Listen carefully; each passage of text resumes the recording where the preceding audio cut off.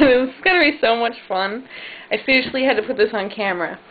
Alright, so what we got here is we've got a, um, a chocolate bunny that, yeah, it's a chocolate bunny.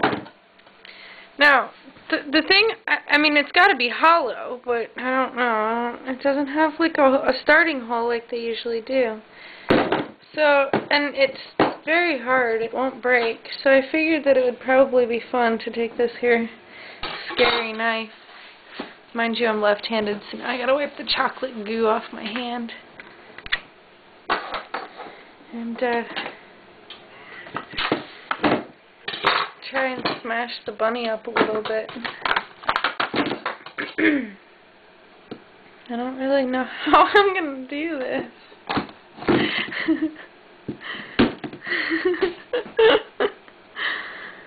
I don't know. I feel bad. I feel like I'm killing the bunny. Ah, there we go.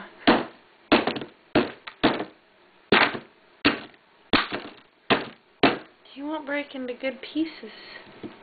I mean, I need bite-sized pieces here. There we go. Alright. There's the smashed.